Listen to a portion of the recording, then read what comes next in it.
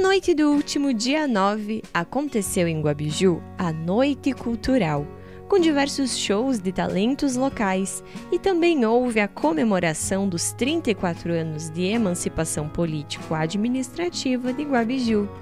A presidente do Coral Luz e Vida, Luciane Froze, nos conta sobre o evento.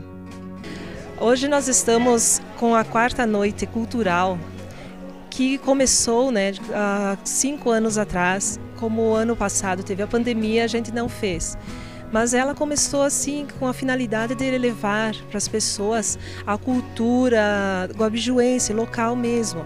E já tiveram outras apresentações de municípios vizinhos, de, da Orquestra de Sopro, que hoje eles voltam novamente para brilhantar a nossa noite, né?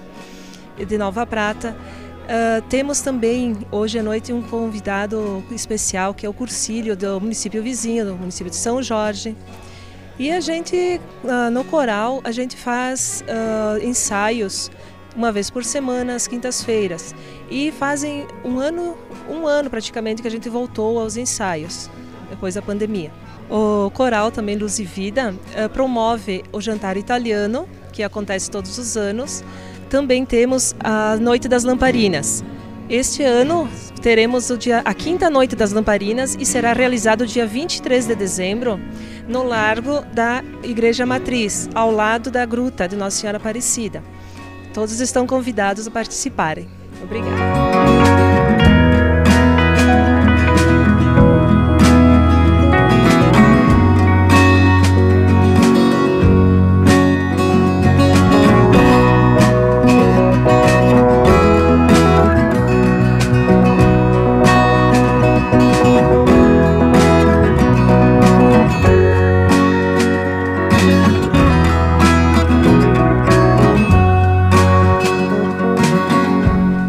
Esta foi a quarta noite cultural que o coral realizou no município de Guabiju.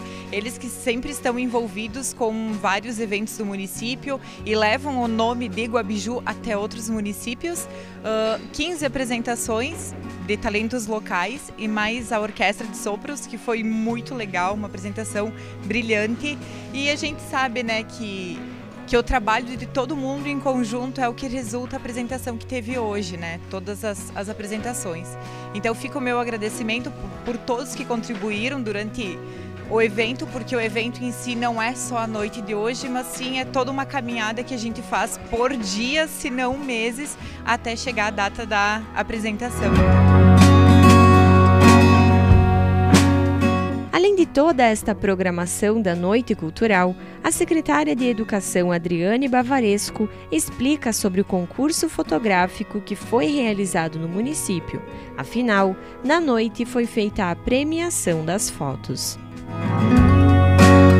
Então, nós realizamos no mês de novembro o primeiro concurso fotográfico. Foram 21 fotos inscritas através da, do e-mail da imprensa e dessas 21, uma comissão julgou e selecionou 10. Dessas 10, então, foram para o site da prefeitura para votação e dessas 10, 5 foram uh, mais votadas durante o período de uma semana, que foram premiadas hoje à noite. Então foi o primeiro concurso, então muita coisa a gente ainda precisa fazer ajustes, melhorar para um próximo ano, mas a gente sabe que quando a gente faz algo pela primeira vez, a gente corrige o que não deu certo para uma próxima.